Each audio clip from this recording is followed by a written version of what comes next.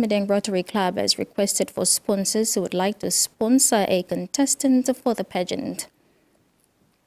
The annual Madang charity event has raised funds towards various health and education projects, previously raised funds towards the blood bank at the Madang's Modilon General Hospital.